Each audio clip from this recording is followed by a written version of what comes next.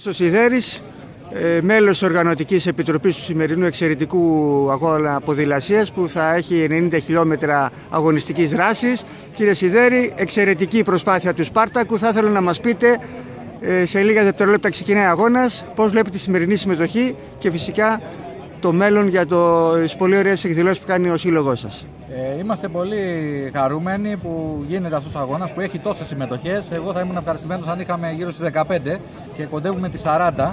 Ήρθαν και από τη Λέρο, ήρθαν και από την Αθήνα. Ε, είναι πολύ καλό αυτό.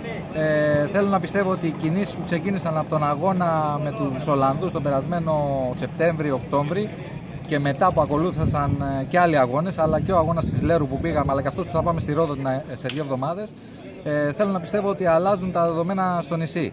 Ε, πλέον το νησί θα είναι πραγματικά το νησί του ποδηλάτου και αγωνιστικά.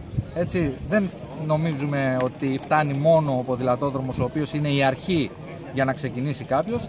Ε, θέλουμε να πιστεύουμε ότι το επόμενο βήμα είναι το αγωνιστικό ποδήλατο και αυτό που βλέπετε πίσω, οι 40 ποδηλάτες αποδεικνύουν ότι η ΚΟΣ έχει πραγματικά τη δυναμική για τέτοιους αγώνες.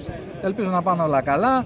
Ε, θέλω να ευχαριστήσω όχι μόνο το, τα παιδιά του Σπάρτακου που βοήθησαν, αλλά και όλους τους ανεξάρτητους που έχουν έρθει από διάφορους συλλόγους ε, και από τη Λέρο και από την Αθήνα και βοήθησαν ε, να γίνει ο αγώνας. Σας ευχαριστούμε πάρα πολύ για όσα κάνετε για το άθλημα της ποδηλασίας που πραγματικά όπως είπατε είναι το άθλημα του ΙΣΚΟ, το νησί του ποδηλάτου. Σας ευχόμαστε καλό αγώνα και σύντομα να σας δούμε και σε μεγαλύτερες αθλητικές διοργανώσεις στην ομάδα σας και φυσικά τους αθλητές που έχετε υπό την φροντίδα σας και την αγάπη σας. Ευχαριστούμε πολύ.